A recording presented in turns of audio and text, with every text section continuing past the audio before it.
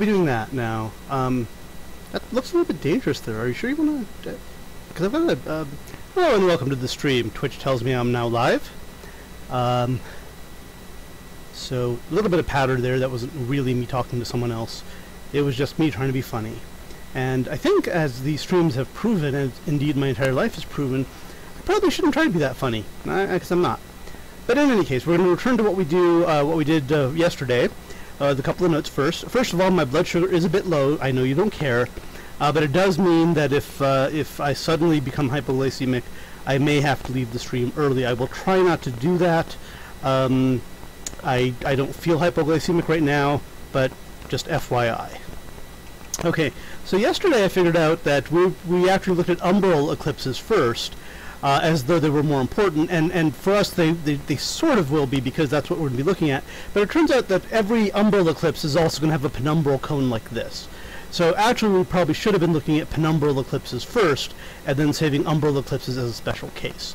Uh, by the way, I didn't... Um, I didn't mention it earlier, but if you continue these lines, uh, these lines that form the umbral cone, what you have here is called the anti-umbra. And what that means is that someone here would see T uh, transiting or annularly eclipsing S. In other words, you can still see some of S because T isn't big enough to block it anymore, um, but it is still, you know, it could be an annular eclipse, it could be uh, called a transit maybe, uh, something like of that nature. Uh, and that is interesting because, you know, we do want to sort of uh, capture, uh, for other reasons, annular eclipses. So we will go into that a little bit too. For right now, we're going to focus more on the penumbra, which is the important thing. And um, let's let's see. Did I say what I need to say? I did. Um, okay. So now we could just say whether a planet is in an umbral eclipse or not. That that would be a zero one kind of thing, and it would work. I mean, C-Spice will let us do booleans and stuff like that. Um, I want to do a little bit better here. I'm going to go ahead and draw a, uh, a sort of a uh, A booyah. Oh, no, no, no, no, no. Not that. Didn't want that. Still doesn't want that. A good tool, by the way. This is, even though it, it sometimes is not super intuitive, circle with center through points. I think this is what I want. Yes. And now I want to go back to this mode here, and I want to... This is not... Uh, this is, we're not going to use this sphere a very... Um, very... Um, oh, come on we're not going to use the sphere as a real uh, mathematical point. We're just using it for some. Uh, we're just using it for some. Uh, for some very easy test cases. Can I actually? No, I don't want to show this. Yay! I have this. Okay, fix. Not what I wanted. Hang on. I maybe need to fix the. Uh, fix the. All right, we're going to go ahead and create another one with a fixed radius. Again, this is just for demonstration purposes. We're not going to use it mathematically. Uh, center and radius, center there.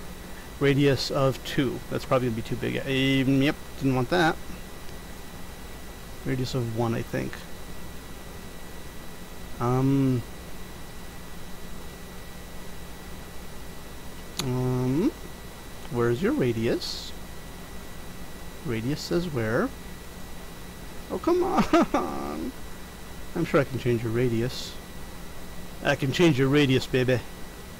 That is something that... Oh, actually, that was the point E, sorry. Um, we should be able to change the uh, circle E, and we're going to say 1. Solid. And we're going to get rid of this. Um, yeah, I didn't mean to do that. Undo. There's Is there an undo on this thing? I don't think there is, actually. Uh, is there? I have no idea what the F I'm doing. That's pretty much the entire stream. Alright, one more time. One. And oh god damn it. Okay so this is good. Just shows you that even to get set up to show you something that's not important it takes me a lot of time. And this time we're going to say don't show label but we're okay I think we're now good to go. Okay. So anyway my point is if the um, if the planet is like right here the, the planet being eclipsed is right here we want to say that's a zero eclipse because it is if the planet is right here, in other words, it's sort of right along the line of S and T, we want to say that that's a one eclipse. Let's write some of this down actually, for me, not for you. Uh, no eclipse but touching, and one equals cent. This is what's called a central eclipse. It's actually a little bit more than that. It's a central eclipse because S and the point through S and T touches the planet. Technically, this is also a central eclipse. It's a central eclipse for these points here, this point and this point. Uh, but it's a doubly central eclipse for us because it's right on the on the middle. What we do want to do though is we sort of want to graduate from uh, you know zero here to one here, and even to like negative numbers out here uh, where there's no eclipse, uh, because it sort of tells us how close are we to an eclipse. Um, kind of, sort of, maybe. There are issues here. One issue is uh, we're currently determining whether uh, you're in a penumbral eclipse by seeing if you're within this penumbral cone here. Well, guess what?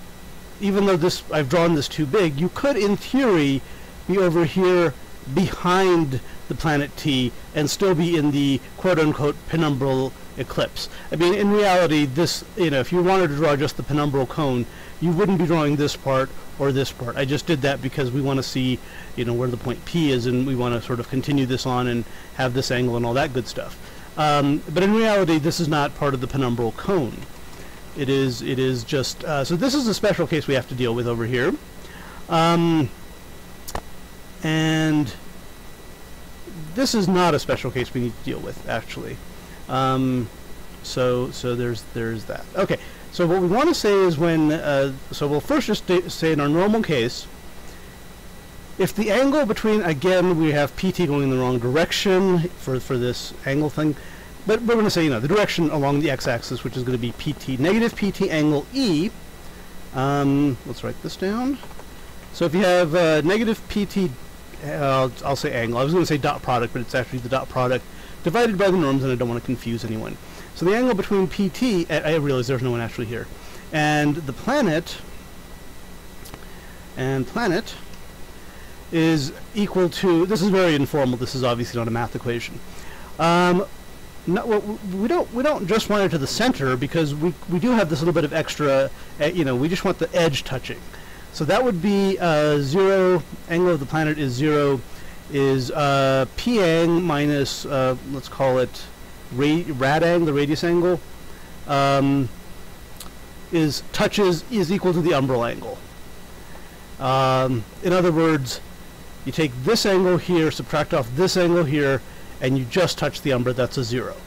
Uh, and then it's zero, if the angle is zero between PT and this planet, we want to also, we want to return one central eclipse. So what we sort of want to return in, in you know, in, in, um, in terms of um, sort of a ratio between them, uh, 1 minus watch me get this wrong. Um, there's going to be a special case where it crosses the uh, the center line, um, but I don't think that's a huge deal. Um, one minus. So we want. Well, actually, let's look at this just very directly. So if you're at pang minus radang, zero to zero is equal goes to one. I won't say zero equals one because of course it doesn't. So that should be a really simple ratio there. It should be 1 minus um, planet angle over pang minus radang. Um, so if the planet angle, oh, ooh, ooh, ooh, planet angle over, planet angle over, um, no, I don't quite have that right and I think I actually mean to do a plus here because um, the angle of the planet as being measured from from PT here is actually going to be uh, the angle of the radius plus the angle of the planet. That's the, the sort of total angle there. So if it's at uh, if the angle here is the umbral angle plus the radius, uh, it is it's just barely touching, and so that is the um, planet angle, um, you know. Um, and I still don't think I've got this quite right. Um,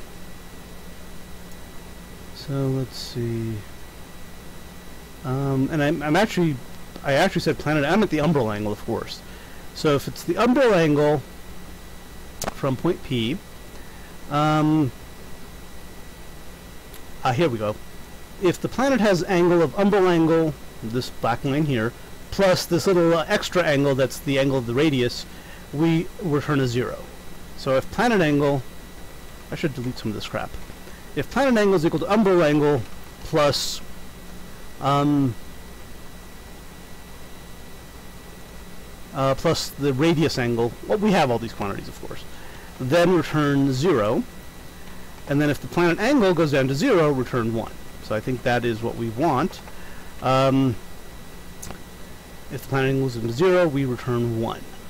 Um, so the way to do that is very simple, but I don't know how. It's just a ratio, actually. Uh, it's going to be 1 minus, um, let's see. Um, this is probably not correct. Let's find out. Alrighty, so when the planet's over here, the pang is this, pang minus the rad angle is this, over umbral angle is 1, so this returns 0.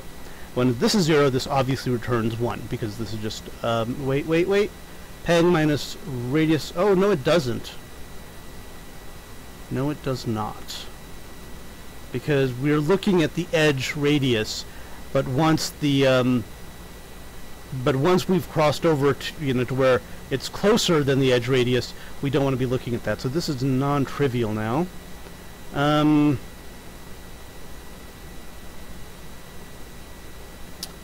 so what do we want to do here to kind of uh, um, to kind of allow for this still to be um, 1 at this value, but I, th I, think we can fix this actually. Um, hang on a second, umbling.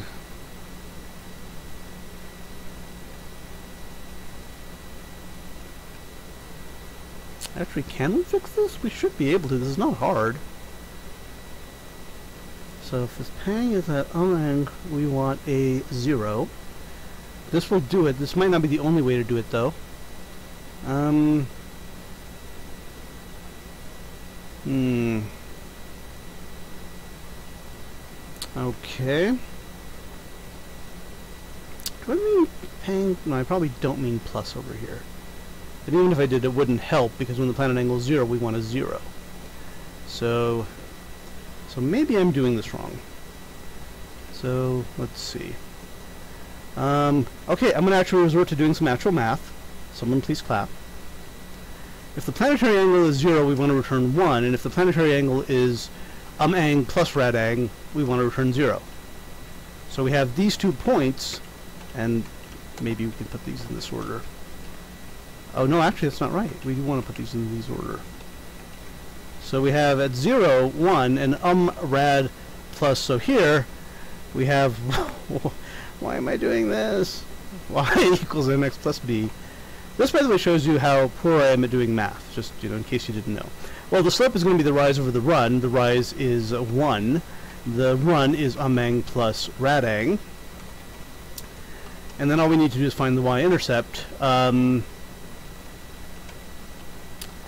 and when x, which is the, the angular value, is 0, Ooh, this is bad. This should actually be x times this, because the notation I used is uh, is ambiguous, uh, and people have sort of caught on to this now. Um, so x times this thing, and when x is 0, this is 1. So I think this is actually the correct formula here at the right side. Uh, let's see if that is correct. When x is equal to 0, um, this returns 1. Beautiful, because that whole thing becomes 0. And now if x is equal to uh, amang plus radang, amang plus radang 1, what am I doing? I need a minus there. Did I miscompute the slope? Oh, I did, because the, the rise here is actually negative 1. Okay, so the formula we're looking for is, is negative x, um, and this can actually just be written as that.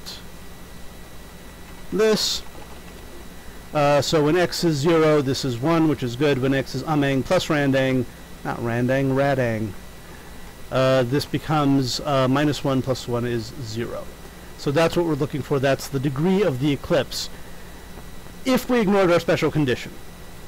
Now we have our special condition where the damn thing ends up over here and is still between the the the, the frickin' rad angle is still correct, uh, but it's it's on the wrong side of t. And the way we can do the way we can sort of measure this is God. Let's let's see if I can if I can force this issue. Uh, let's see. I think anywhere in here, in fact, uh, yeah, we anywhere in here, I'm 99% sure, uh, e is going to be closer to p than t. So all we need to do here is measure the distance between uh, p and t and p and e, and if pe is less than pt, we're on the wrong side of the cone. Uh, now that kind of technically applies over here too, because distance is distance. Um, but we don't really care, because if it's over here, it's also not really in the penumbra. Um, but let's see what value we want to return uh, for the special case that pt is less than PE, PE is less than PT. In other words, the planet is closer than the thing that's that's eclipsing it. Um, and one idea I had earlier for this is we want to kind of return the um, we kind of want to return the angle from T at that point, uh, going in this direction. So not the angle from P, but rather the angle from T. And in fact, you could actually return the angle from T at any time. Hello there, hello, hello. Fierce crocodile, slower, slower, slower. You want me to go slower? Or the stream is slower. Okay, I will go slower. Talk slower. Give me a little bit more on what you mean by the word slower there. And while you answer, I will just relax. Fierce Crocodile? Are you a new visitor to my stream? or No, no, you actually followed me yesterday. So that, thank you very much for the follow. Okay. I'll give you about a few... Yes, you. I have to catch up. Okay. Um, unfortunately, there's no easy way to watch catch up to a stream uh, because you can't watch a stream while it's live. Once the stream is over, you can watch the recording, um, or I'll post the recording to YouTube. Uh, so instead, um, tell me what questions you have, and I will try to answer them. And I realize this is bad for everybody else who's watching the stream later, but I don't care. Uh, because the person in chat is more important than everybody. Okay, now let me think. Okay? No one is watching. I know no one working. No one is working. So we want the radius. Okay, let me tell you what we're looking for here. Let me go back a little bit. Um, this diagram here, and I will even ask you to, to verify shit. This is the sun. Let's see. And there's supposed to be no intersection. Uh, right. Uh, let me go back a step, and then I'll just... Okay, wait. We want to know if the guy is in the radius. Well, we want to know if the guy... Right. We want to know if E is within this thing that I'm calling the penumbra here. This huge penumbra here, which is everything that's in this region here. Uh, yes, it's like the eclipse. Yes. So we want to know if Mr. this guy here, in the penumbra, this is still considered to be in the penumbra because part of him is in the penumbra. Not in the penumbra. Not in the penumbra. But the problem is if he's over here, He's still not in the penumbra, but it kind of looks like he is because he's still within these two angles. So that's the case we have to, special case we have to deal with. Um, so yes. Uh, by the way, if you want to join me on Discord or audio somehow, I think we can make that happen. If you prefer to continue from chat, that's fine too. Uh, I know chat is not the best way to sort of co-learn, uh, but it's what I've got for right now, and so I'm, I'm going to offer uh, the Discord uh, if you want. Okay. Um, okay. Why is this not in the penumbra? So you're asking me why is this not in the penumbra?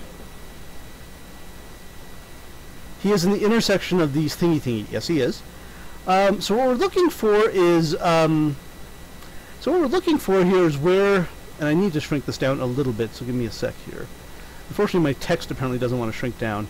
Um, so what we're looking for, this is like the sun. This is like a planet, and we want to know where you can see a partial eclipse of the sun from this planet. So if you're over here, you will. If you're over here, you'll see the sun on one side and the planet on the other side. There's no eclipse here. In fact, this is more of an opposition than an eclipse. So, so if you're in this little re region here, um, you're not seeing an eclipse of the sun by t. You're just, you just happen to be within this, you know, the mathematical way we express it. You happen to be in this sort of weird place where you're within this cone, but you're not, you're not far enough away to see the eclipse. Uh, so what happens when, so what happens? Light gets blocked. That is correct. If you're anywhere in the penumbra, anywhere in here, at least a, at least some of the light coming from S will be blocked by T. You will have a partial eclipse. In fact, if you're in certain points, you would have a total eclipse, but that's not important. Right now, we just want to say if you're over here, for example, you'll have a partial eclipse because you can't. If you wanted to look at this part of the sun here from here, you would you wouldn't be able to do it because you'd have to go through T, because part of T is blocking part of S. So what what happens is light gets blocked. Correct. So we're looking for the points where the light is being blocked at least partially.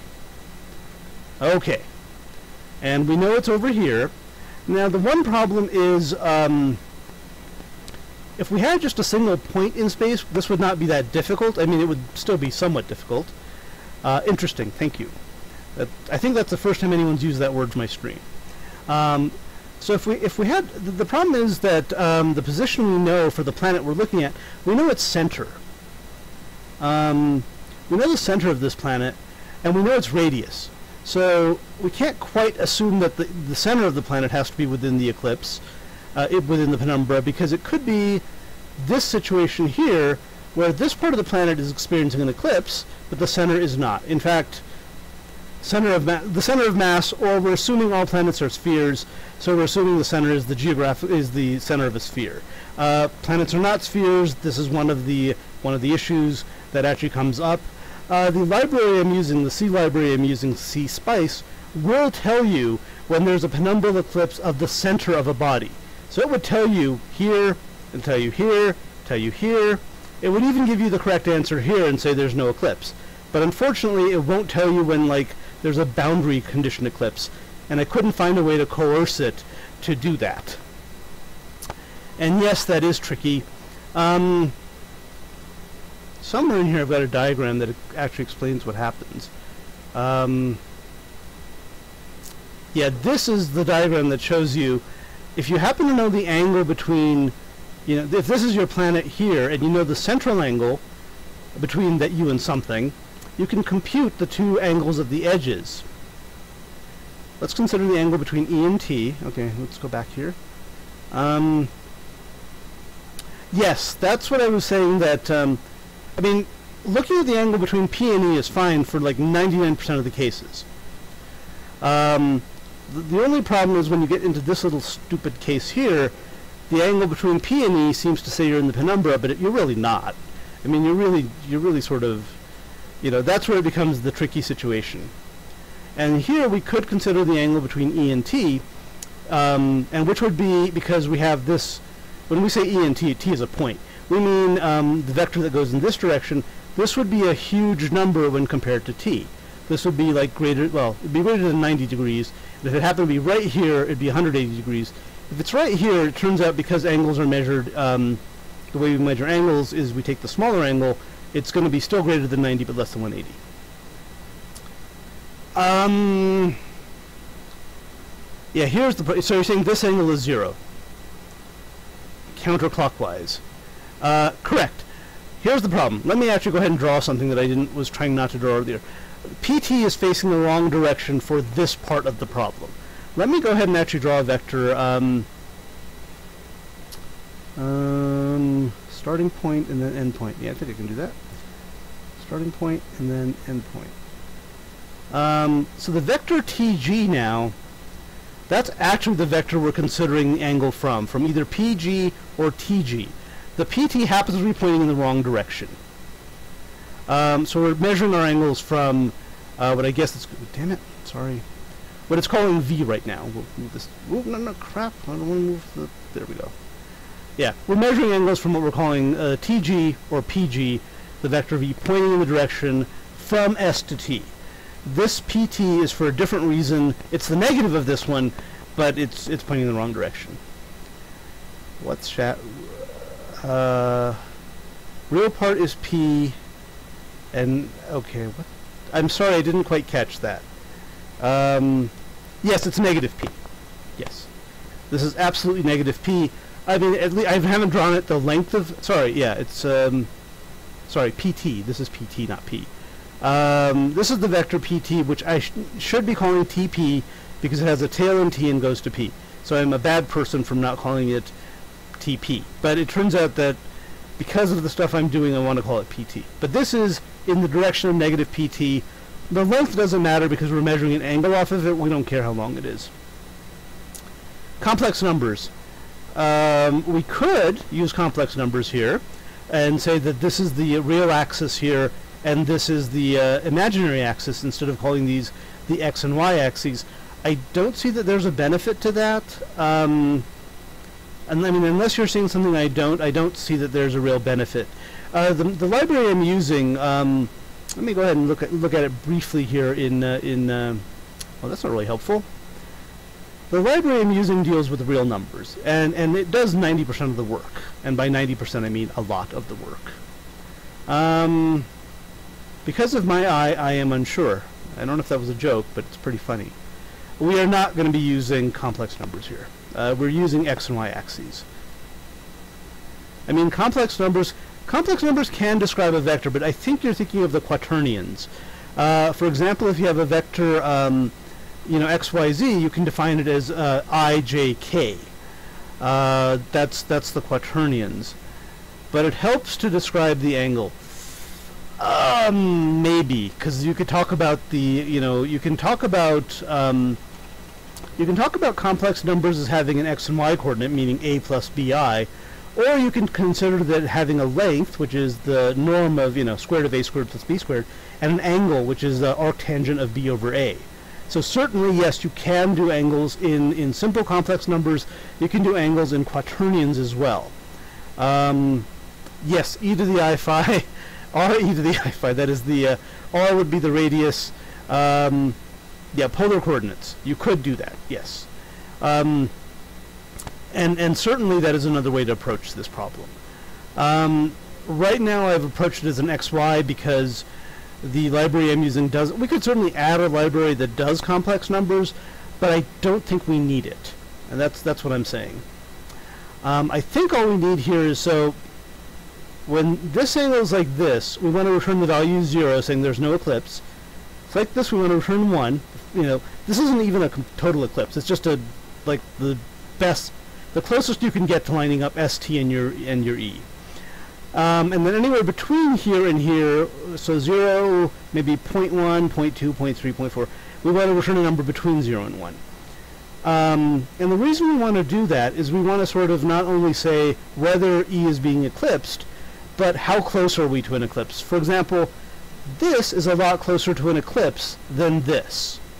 Um, so we sort of want to we're using a mathematical, we're using a um, numerical estimator that, and it's helped by how, you know, if it knows that you're close to an eclipse, it can use that information to find the time of the eclipse more accurately. Um, I think. That might not even be true. So for most of this, we're fine. We can just measure the angle between uh, V and E. So, you know, that's fine. The only time that doesn't really work, from P. We can't measure the angle from T because these, this umbral this penumbral cone here doesn't have a well-defined relation to T. Yeah, it is tricky, unfortunately. It does have a well-defined relation to P. It's basically, if you're within this, which we happen, the angle is going to be 2 times U. It's going to be U here by uh, symmetry and vertical angles. This is going to be the angle U. So if we know you're within U, or actually U plus whatever this, this angle is, uh, you're in eclipse mode. The problem is over here, we have this sort of, we, are not really sure what to return here. Um, and first of all, we need to make sure we, we take care of this case because otherwise, um, and what's unusual here is if you're actually within this little area here, uh, then as viewed from T, you are eclipsing the sun.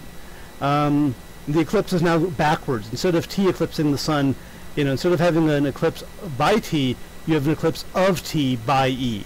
But it turns out we don't really want to. I don't really want to kind of use that as as the the reverse eclipse. I want to set up the problem like this and ignore this special case here, where E happens to be between S and T. Um, so what I was saying is if we if we have the case where E is closer to P than T is, in other words, it's in this sort of circle here, um, between that it's, it's closer, we return a different value, and the value we could return there is, um, and and the other thing is we want to return it so it's like saying you're far away from an eclipse, um, because we, you know we're saying that if you're over here, not only are you not being eclipsed, you're nowhere near an eclipse. You have to get all the way over here to get to the eclipse. Um, and I'm not quite sure how to do that because of the weirdness of the way this, this thing works. We can't use the angle from P because according to P, you're really close to an eclipse. Uh, we could use the angle from T. Another possibility is we could just return like a value like um, negative 1 or something that says you're far away from an eclipse and you're so far from an eclipse we're going to just say negative 1. That's another possibility there. Um, and returning the, the, uh, see, the problem is the problem is at some point the real super ugliness here is um, nah sounds lame um, the real super ugliness here is as this planet or you know does whatever it's doing um, there's going to come a time when it's just further than p you know it's equivalent distance pt p are equal so then we're still using the, this uh, measure here this angle here to return how much of an eclipse we have. The moment it slips past, gets closer than t, we're going to use a different value. We're going to basically compute the value differently. And I'm not convinced there's a way to do that that is that is smooth. Um, well, there probably is, actually. I mean, we could figure out what... Okay, hang on. So if this is an isosceles triangle, um, this angle is going to be u, which means the thing we're returning is going to be minus u over oh god it's going to be hideous what is p doing is is this just yes it is p is defined as the intersection okay so if you're at p i mean you're this is you're clearly clearly not being eclipsed the, the thing that's true at p is that the angular radius here of s and the angular radius here of t are equivalent uh, this is also the point where if you draw the tangent, this is by the way, a, this is a tangent point here. I haven't drawn it as a right angle, but it is. And this tangent, the uh, the cone here is what defines, the cone through P is here is what defines where you're seeing a partial eclipse. Okay, so P is defined like that. We, we've computed P. In fact, all of these computations here have been moved to the to the C code, and we, we know all of these points. We're now sort of at the point of trying to figure out um, how to say how close are you to an eclipse. Um, to be perfectly honest, I'm not even sure we need to use um, a smooth function. In theory, we could return 1 the moment you cross this line, and 0 the moment you, you know, the moment you're out of the eclipse. And then 0 whenever you're over here in this weird land where you're the, in the opposition position of of uh, uh, S and T, not the not the eclipse position. The reason this became an issue yesterday was um, I was trying to find lunar eclipses, and one of the results I got was a solar eclipse, because the moon was you know in this little angle here, but it wasn't at the far side of the Earth, so it wasn't being eclipsed. Rather, it was doing the eclipsing. Um, unsure smooth would imply linearity. Um, well, I shouldn't have said smooth. I should have said linear. No, no, it's not going to be linear. You're correct. Smooth would just mean continuous. So, in other words, if you're at exactly distance t from p, I want this measure, you know, the one we the one we have earlier, this one that we've defined, uh, minus the the angle over umbral angle to plus radian angle plus one, which we're pretty happy with for when you're in this area or over here to have the same value as if you whatever measure we're going to give when you're closer than t. Because the moment you cross this line, you're closer than t, and now you have a separate if statement doing the calculation. So you're right, it wouldn't be linear, but it would at least be continuous um, if we did this. And the problem is the value we really want, you know, for the continuity, the value we want is, um, okay, so the angle here is, sorry, the angle here is 2u if this is an isosceles triangle. think. Yeah, it is, because this is u, this is a right angle, this is 2u. So we would kind of want to return minus 2u over um ang plus rad ang. Oh, but hang on a second, hang on, hang on, plus 1, because that's what we're returning. But hang on, hang on, hang on, hang on, hang on. Um, I think u is the umbral angle. It is. So sorry, we have here uh, minus 2u over u plus radang plus 1. Mm, still ugly, though. And, and the ugliness comes from the fact that we're not looking at a point, we're looking at this sort of radius thing here, too. Ah. So I am this close to saying F it, and because the, the, the, the C library, the C Spice library that I'm using will handle booleans just fine. However, it's, I mean, obviously you have to do a binary search to figure out when a boolean value changes. Uh, if you have a continuous value, uh, you don't need a boolean search. You can use a, you can use derivatives and a more, you know, more of a um, uh, binary. You can use you can use better algorithms if you have a function that is that is continuous as opposed to one that is just you know zero to one and jumps at a certain point.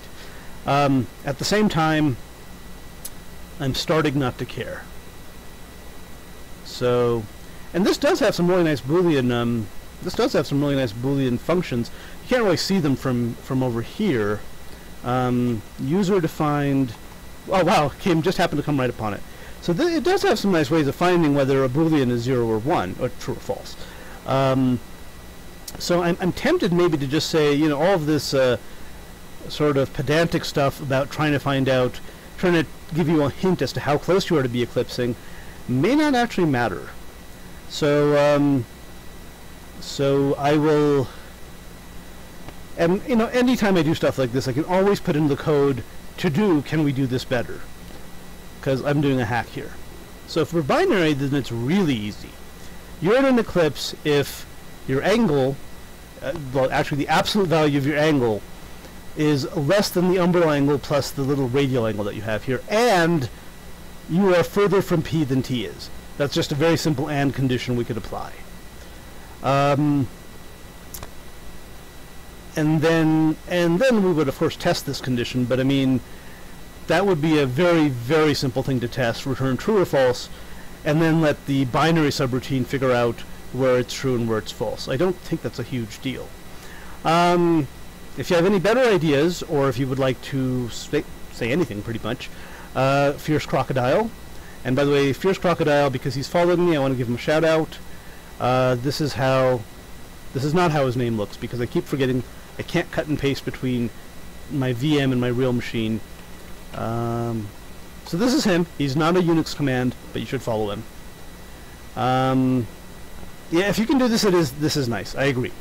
That it would be very nice if we could not just say zero or one. We could sort of say, yeah, you know, you're close to an eclipse. I mean, you know, so kind of look at shorter time periods to see eclipse. Uh, and here, you're very far from an eclipse. This is about the furthest from an eclipse you can be. If you're along this line, you're about as far from the penumbra as you can be, assuming that the planet... Now, the problem, of course, the planet is probably rotating around the sun, so you... Um, I'm sorry, this could be a moon here too, so we don't really know where what you're rotating around. Uh, but we, and, and we kind of don't want to know. I mean, I think the difficulty is when you're in the intersection of G. In other words, when you're in this area, you mean? Had to reload. Well, welcome back. Yeah. The, the, the real problem is when you're in this little area here where your angle between P, PT, I should say, because it's a vector, and P and E, PTPE vector, is small, but you're not in the umbral eclipse, you're not in the penumbral eclipse because the penumbral eclipse is way the hell out here. Uh, I was thinking maybe when you see an eclipse on one part, uh, yes, keep going. And and yes, if you're in this part, you actually have a, you're the one doing the eclipsing instead of being eclipsed. That's kind of a weirdness there. Um, from which site you come site you come from side you come from it is it is definitely um, now another problem here is even though I have this lined up on the x and y axes uh, This is only for the diagram. In real life, the point t is going to have some three-dimensional value that is going to be just weird. Same with the point s, same with the vector pt. All of these things are actually arbitrary points in three dimensions that we've just moved into two dimensions to make these calculations. I thought I am on Earth, and E is the moon. Um, yeah, let me... Okay, sure, for lunar eclipses that is true. Uh, in fact, yeah, let me go ahead and rename this um, the moon. Let me, I'll read it at M, not the moon necessarily. Okay. Let me go back one step before we continue with that. Um, these are arbitrary. Uh, these are not. I mean, you're correct. And when you're talking about a lunar eclipse, this is the sun, this is the Earth, this is the moon, and it, you, and I've, they're they're not drawn to scale even close. But you know, the moon is the smallest of the three. But uh, the Earth is spinning. That's not actually an issue here because we're only concerned with the sphere of the Earth, whether or not there's an eclipse somewhere. We don't care where the eclipse is for right now. But here's the problem. Here's the, the more generic problem. This is not, this is actually to compute arbitrary eclipses in our solar system, not just for lunar eclipses. We're focusing on lunar right now because we happen to be looking at the sun, earth, and moon. We also want to focus on solar eclipses because that's basically the same thing with these two flipped. But our large-scale goal is to look at eclipses I mean, I think the title of the stream is Jovian Lunar Eclipses or something. I don't even remember anymore. Um, so just map it to the angle and then look maybe what happens. Uh, the probability sum to 1. Y yes. Um, it is uniformly distributed, do clue. We don't, yeah. Unfortunately, I did do that. I set this to be the angles earlier, just looking at the angle from P. Um, the problem is I literally got, you know, so this is a lunar eclipse.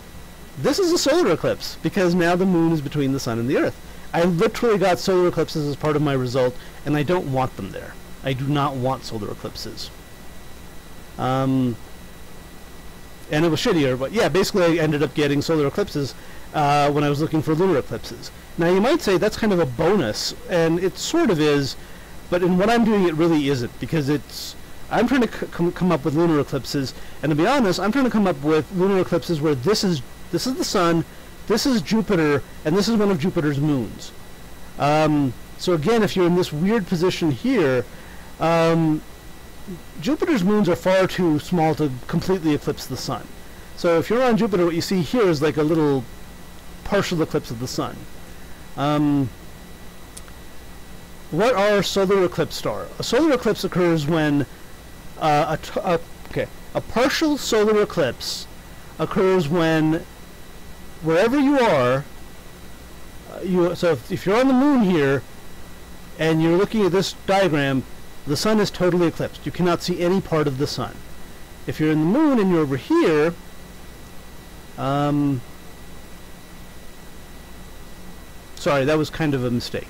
If you're in the moon and you're over here, then you're seeing a partial eclipse of the sun. A portion of the sun is being blocked by T.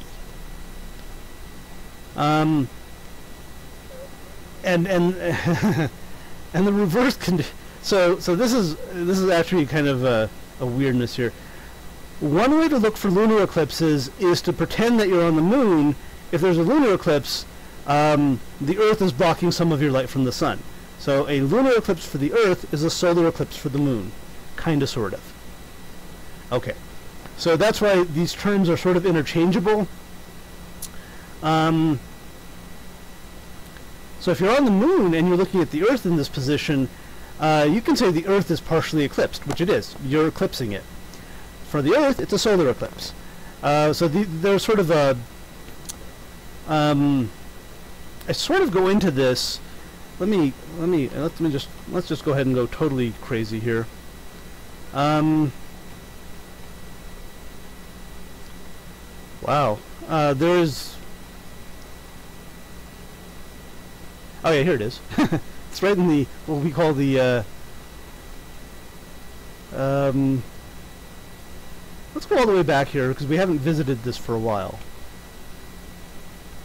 Lots of references. Sounds like one minus. Mm, okay, didn't quite catch that. But yeah, let's go, go ahead. This is where this all started.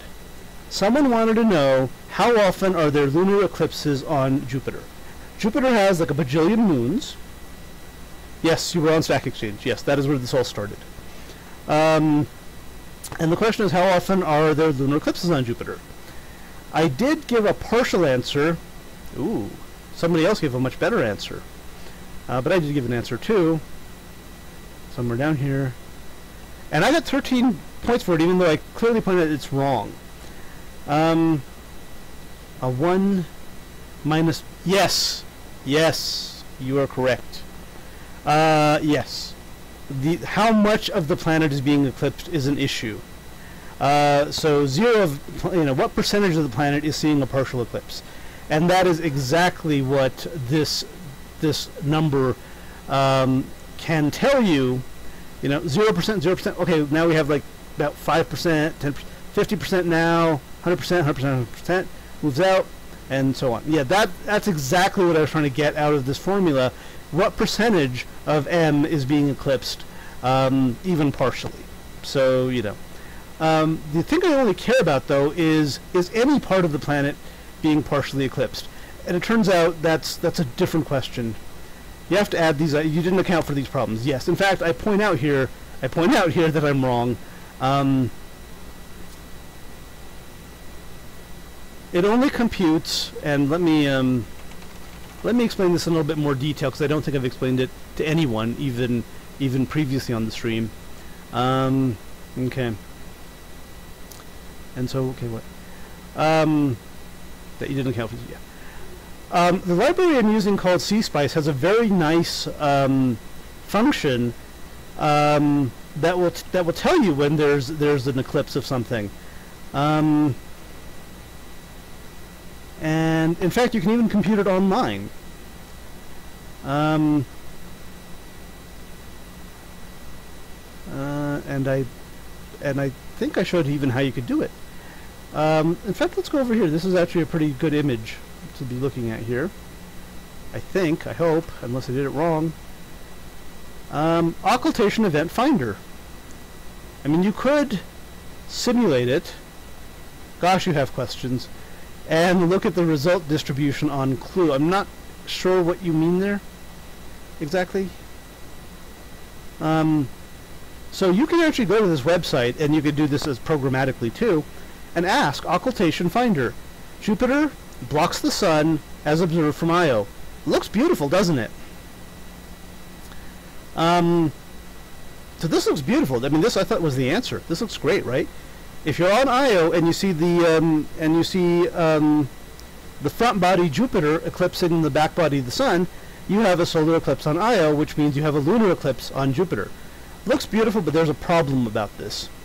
That's how people something things, how they made numerical computation wait like a minute. There's some regularities. Uh, I realize you're trying to type very fast to keep up. Um, and you're correct. This is, of course, back in the olden days, and this is actually even astrology. Uh, this is why astronomy, in some sense, owes a debt to astrology. Early astrologers and astronomers would keep track of where the planets were because they don't follow a, uh, observed from Earth, the moon and the sun sort of follow a regular, they follow a, you know, they sort of go in a circle. Not exactly, though. Uh, the planets don't do that at all because it turns out they're orbiting the sun. It's much more complicated. Um, so, so there's a library. Of course, now we, we're sort of, we have a nice library that will compute where the planets are at any given time. Um, but the problem we, and we could, you know, you could use them online. There's the Horizons, um, Horizons website. Um, and there's this website, which this is just an image, but I mean, this is how you. Um, so this is this looks like the perfectly correct way of showing when there's a lunar eclipse of Io because Io is seeing in a, you know the sun is blocked by Jupiter. Turns out this doesn't work because this Io here, Io being one of Jupiter's moons, means the center of Io. And are they not right? Well, they are correct. Um, but the problem here's the big problem. Io is one of the moons of one of the four moons of Jupiter. I really, yeah, and really, um, I, I like choosing Io as my example moon, but it's the worst possible because Io looks like it's a one zero. It has lots. It's the short name. Um, if you want, you can pretend I'm saying Ganymede here. Ganymede, Europa, Callisto, and Io are the four big moons of Jupiter. So if you want, you can pretend I'm saying Ganymede. So you would think this is accurate. You would think this is saying when there's a solar eclipse. Uh, sorry, a lunar eclipse of Io, a solar eclipse on Io. But it turns out, uh, if you go all, and you look at the documentation, this will tell you when, let's see, I don't know Ganymede either. Well, at least Ganymede doesn't sound like everything else. Io sounds like 1-0, could be a binar. I know Dynamite. Uh, Dynamite is not one of the moons of Jupiter. Uh, it's not even one of the smaller moons. I don't think they would name a moon Dynamite. But uh, Callisto, Ganymede, Europa, and Io are the four big moons of Jupiter that can be viewed by a uh, binoculars, and they're the ones that Galileo discovered. They're called the Galilean moons. It's possible somebody saw them before he did, because you know binoculars and te telescopes actually uh, existed before Gal Galileo did not actually invent the telescope. He was the first person to point it at the sky, uh, but people had used uh, you know, terrestrial telescopes before that. Uh, yes, Io is also in and out. One it looks like a one zero, like an off-on switch. Worst possible name for me to you know uh, for me to use as a moon. It turns out there's also an asteroid called Io. So this is really really effed up me using Io. So let's pretend we're talking about Ganymede or another moon of Jupiter. It's got like 70 of the damn things. And the problem with this, whatever this observer is, this would say there's an eclipse for someone who's at the center of Io. Uh, this is great if there were people at the center of Io. There's not even people on the surface of Io, but or Ganymede or whatever. Um, but the problem is you could very easily have an eclipse on the surface of something, even if it doesn't reach the center. In fact, if you're on Earth and you're seeing a solar eclipse, uh, it's I think you can actually guarantee that the umbral cone never reaches the center of the Earth. Uh, if you could live at the center of the Earth and the Earth were transparent or something, you would still never be able to see a total solar eclipse because the umbra just doesn't reach that far. Um, so what's going on on this moon? Well, on this moon, this is why we have to go through the whole uh, crap of putting a surface. We have to put a circle around the moon. So the, the library would very happily tell me right here, oh, now you're in an eclipse. Now you're not in an eclipse. But that's not true. You're still are part of it's still in an eclipse. Uh, okay, so what's going on? Okay, so the library I'm using would very happily tell you uh, right now, you're in an eclipse because the center point of the world is in the penumbra. But here it would say you're not in an eclipse because the center point is not in the penumbra. The problem is, yeah, the center point isn't in the penumbra, but part of the surface still is. Partial, sure, yeah. Um, you would think that this library would have a way of, of, of doing that, um, of telling you when just part of the planet is within the penumbra instead of the middle of the planet, which where you know is really it's sort of a sort of a fantasy that someone could live there. Yeah, 25% maybe, whatever. Uh, once 50% is in, even my library will the library will tell you, because at this point it's saying, oh yeah, you're now you're in an eclipse. But the problem is if it's less than 50%, it won't tell you because it only looks at the center point. In fact, you might say, well, that, that can't be correct. I mean, why would anyone write such a stupid library? Uh, unfortunately, if you actually look at the documentation, um, and the function is called GFOCLTC, um, find an occultation. And what the library says here, find occult so find occultations of the sun by the moon, solar eclipses, as seen from the center of the earth. See that word, center of the earth? Um, what's called bounding boxes. Uh, circles are the easy. Well, bounding boxes are the rectangles that would surround the circles. Uh, the problem. This is the word we don't like here. Center. Circles. You don't. You don't need to take square roots. You can always, if you're comparing two distances, you don't have to take the square roots. You can just look at the norms squared, compare them, uh, and and you're fine. And in fact, you can do, no, you would take circles if you can. Um, maybe. When it comes to doing computations, uh, bounding boxes are actually a lot easier. Uh, in fact, I think that, uh, yeah, so whatever. But the problem, of course, here is um, finding total and partial eclipses on the surface of the Earth is much more difficult. And that I don't see that they have a function for this. I mean, maybe they do and I don't see it. Um, Oh, by the way, this is the, the Besselian, this is not my diagram. This is uh, the idea that Bessel had, the Besselian elements, um, that, that makes it easier to compute whether you're seeing a partial or total eclipse or neither, or some. I think the implementation from circles is easiest. I, I think I agree with you. Um, I mean, the easiest would be if over here, find occultation type, that's fine. Occultation event, hang on, there might be another one. Find occultation. So that's what we're trying to do. We're trying to find occultations. Eclipses are a special type of occultation. And the only problem is this function will not let you use as your, um, won't let you look at occultations from the surface only from the center. And that's not useful in our case.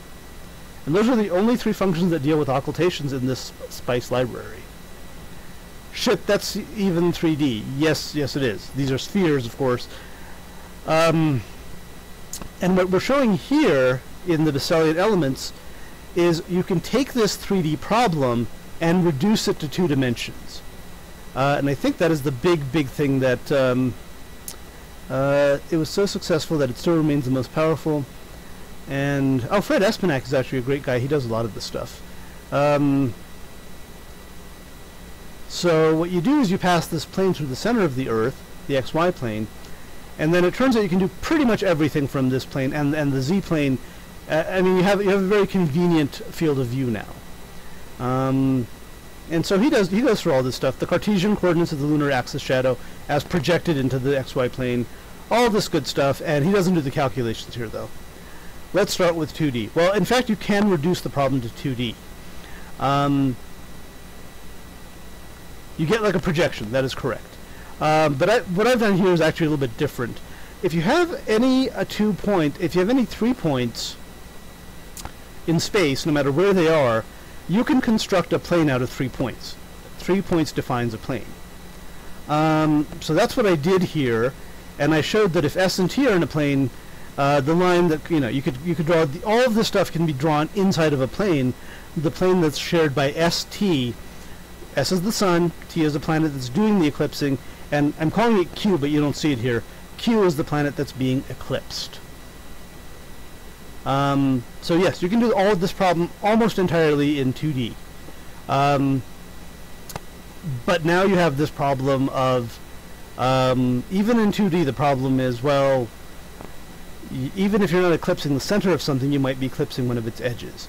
Uh, and, and that's where I'm trying to find out when partial eclipses begin and end. Uh, we will move on to the uh, to this diagram here, the umbral diagram, and that occurs when you're within this little area here uh, you're within the shadow where T is completely blocking S. You have a total eclipse. Uh, this area, again, is sort of the weird area where you're still within the correct angle, but you're not seeing a total eclipse because T and S are on the wrong sides. They're in opposition to each other. Um, so that's the problem explained uh, again, and what we're trying to do now is we're trying to find a, and I was hoping to find a nice little thing that says 0% eclipsed, 1% eclipsed, 100% eclipsed, and negative 15% eclipsed or whatever, meaning you're nowhere near having an eclipse. So you know you can you can kind of make an assumption that you can go quite a bit further. Um, so that would be a very nice smooth function that tell that a smoothly changing function that tells you whether or not you are eclipsed or not. Um, the problem is, um, well, the problem is basically this region here. I mean, otherwise you could just measure this angle between V and, uh, so P to, you know, the angle P, the angle, sorry, the vector V going from P to what's called G here, and PM. That vector would tell you exactly how eclipsed you are if it wasn't for this little area here. Okay. So that is the issue. Uh, unfortunately, the other issue is I am beginning. It's I've been streaming for about an hour. I would like to continue the stream later. I am getting a little hypoglycemic. I probably need to eat food so I don't, you know, die. Um, I actually have a little bit of time. I'm not. I'm not that hypoglycemic, um, but I do need to eat uh, some food. So I'm going to ask you, Fierce Crocodile. Um, do you want to come back to this stream later? We could schedule a time and actually an array intersection with a disk. Yes, that is correct. Um, this is a ray, and this is a disk, and this is the inter this is this is the trivial intersection. This is an intersection where there's only a part of the intersection. So I think I think that's where we are. Uh, would you like to, to figure out exactly how much is intersected? That is that is exactly the problem. Except in what I'm doing, I don't really care how much is intersected. I just need to know when there is any part of the sphere that is touch that is being eclipsed. That is my concern. For what I'm doing, that's my only concern. So I may just turn this into a binary function that says yes you are or no you're not being eclipsed. But the it's not really a probability. I mean, unless you're saying if you're standing in a random location on the planet, what is the probability that you're witnessing an eclipse?